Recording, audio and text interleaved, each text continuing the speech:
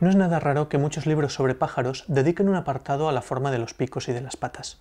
Los picos nos dicen qué comen esas especies, mientras que las patas nos hablan de su hábitat. Ambas cosas sirven además como criterio de clasificación y de identificación de las especies. En el siglo XIX, Charles Darwin, durante su famoso viaje a las Islas Galápagos, observó que los pinzones tenían distintos picos según el alimento disponible en cada isla. Esto le ayudó a formular la teoría de la evolución por selección natural. Tuviera o no razón, podemos ver que cada pico está diseñado con precisión para el alimento que captura. El pico está formado por las dos mandíbulas óseas, sin dientes y recubiertas de un estuche córneo llamado ranfoteca. A menudo este estuche está vivamente coloreado y algunas especies pueden mudarlo.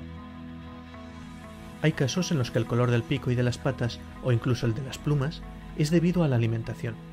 Los flamencos se alimentan filtrando el lodo y capturando pequeños animales que a su vez consumen las bacterias productoras del pigmento rosa.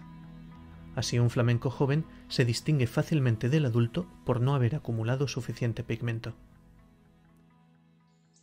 El pico es una herramienta que sirve para casi todo, desde peinarse hasta hacer el nido, aunque para beber es un engorro, ya que no permite sorber, sino que hay que llenarlo como un cazo. Lo normal, sin ninguna duda, es que se utilice para comer. Buscar comida en el agua es una complicación. Los cisnes necesitan unas patas adecuadas para impulsarse cuando nadan, los dedos están unidos por una membrana y las patas están situadas más hacia atrás, así que cuando caminan ponen de manifiesto su torpeza. Algunas aves acuáticas se sumergen totalmente y bucean. En este caso, cada dedo es independiente, pero sigue teniendo una forma aplanada para facilitar la natación. Para capturar presas pequeñas, los picos son también pequeños y muy finos. Las aves insectívoras son muy voraces y eliminan diariamente grandes cantidades de insectos molestos para las personas, como por ejemplo los mosquitos.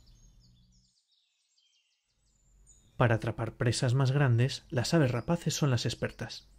Las adaptaciones que presentan les confieren una gran eficiencia para cazar.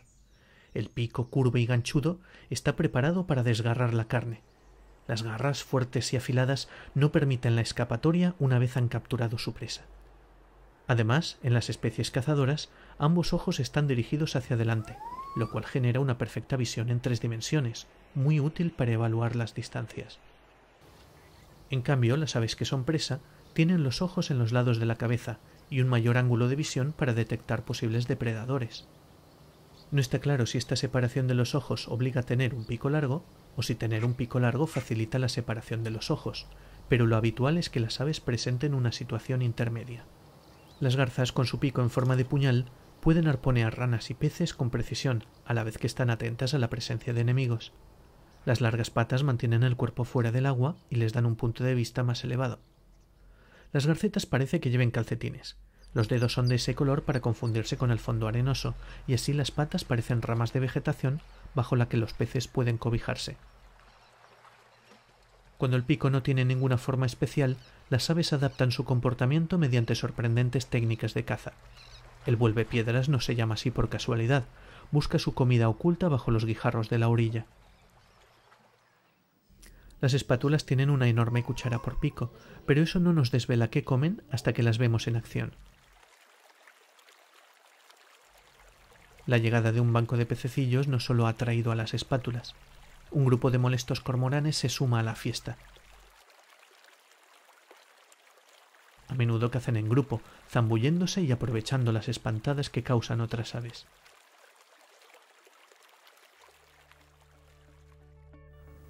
Como vemos, las aves tienen una gran variedad de picos y de patas adaptados a los hábitats concretos en los que viven. Está en nuestra mano conservar estos ecosistemas para que en el futuro podamos seguir hablando de cosas de pájaros.